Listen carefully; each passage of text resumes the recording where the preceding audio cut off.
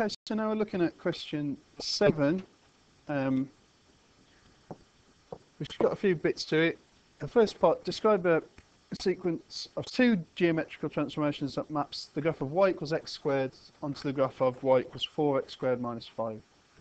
Well, let's have a look at this in two bits. Let's have a look at the x um, transformation and the y transformation. So I'm just going to see what we need to do to get to 4x squared. I'm just going to worry about this bit first. So we started out with y equals um, x squared. Um,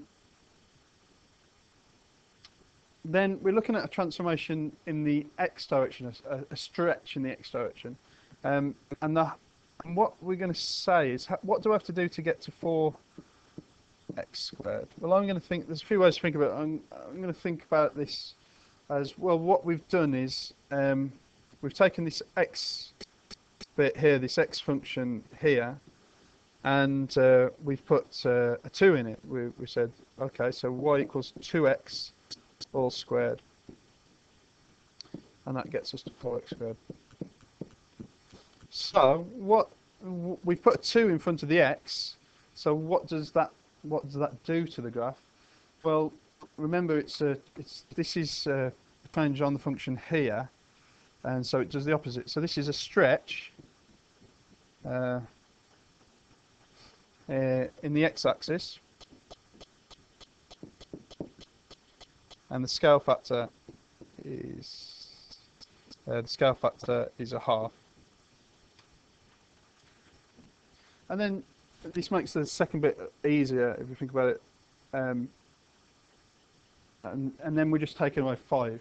So we've done stretching the x-axis scale factor a half, and then uh, we're doing a transformation, which is just 0, and it's just moved down 5, the second part. Uh, so it's it's moved in the y direction, the down 5. Okay. Um, second part, sketch the graph of y equals mod 4x squared minus 5. Um, so what we're going to do is we're going to just sketch a graph of 4x squared minus 5 uh, as normal, and then we're just going to um, just take the positive parts of it. So we're going to we're doing we're doing 4b, and we're going to sketch a graph of y equals 4x squared minus 5. So um, what I really want to know is where that cuts, the roots of this, where it cuts. So um, I'm going to put it equal to 0.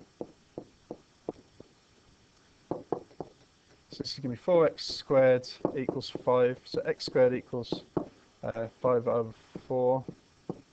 So my x value is going to be um, root 5 over 4.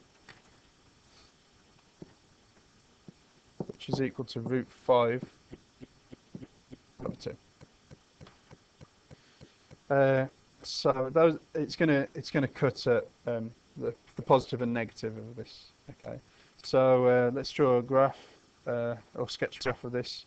It's going to be quadratic, uh, symmetrical. It's going to come down uh, like that, um, and it's going to cut at minus root five over two, um, plus root five over two, and also because it's sketch. Oh, um, I want to know where it cuts here. Uh, well, it cuts here when x is 0, um, so this is going to be minus 5. That's where it cuts there. But remember, the question is ask, not asking us to do a sketch of 4x squared minus 5, it's asking us to do a sketch of the modulus of that. So all this bit here that's negative, I'm going to reflect up. So my actual sketch um, is going to come down like this. Uh, and it's going to do something like that. These points where it touches here are the same. And but this is going to be 5 now. So that's my sketch.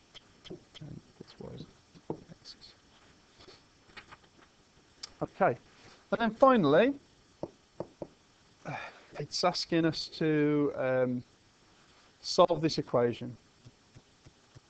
C part I, solve this equation. 4x squared minus 5, the modulus of equals to is equal to 4. So 4x squared minus 5 equals 4. So this is um, solving that mod equation there. Uh, and the way to do this is you just find the solutions to this, and you find the solutions to the negative of 4 as well. And th- those are going to be the places. What we're actually after here is where does this curve here um, cut the line um, what equals 4. So we're looking for four solutions. Okay. Um, so let's have a look. This is going to be this is going to go to 4x squared equals 9, x squared equals 9 over 4, x equals um, square root of 9 over 4. And we can do that. That's going to be uh, 3 over 2 and minus 3 over 2. And then the solutions for the other one, uh, 4x squared equals um, 1, x squared equals a quarter, so x equals square root of a quarter, and again we're going to get um, a half and minus a half. There's your four solutions. So if I go back up to this um, this curve that I sketched here, I can tell you the places where it cuts the line y equals 4. It's going to cut at um, a half, minus a half, um, minus 3 over 2, and 3 over 2. So to answer the final question, where does, uh, or solve the equation, when is that curve greater than or equal to 4. When is it greater than or equal to 4? Well, it's greater than or equal to 4 here, between minus a half and a half. Here, less than um, minus 3 over 2, and here more than 3 over 2.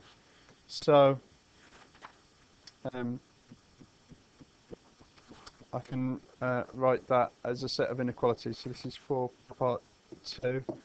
When is uh, for x squared minus 5 greater than or equal to 4, it's when x is less than or equal to minus a half. Uh, when x is greater than or equal to half. And when it's between, uh, sorry, uh, said this wrong.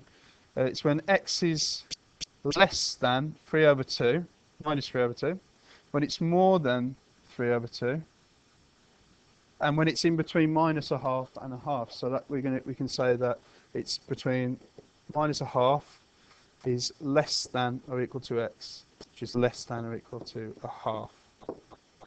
And that, that's the solution of the inequality. There. And that's the final part of question 7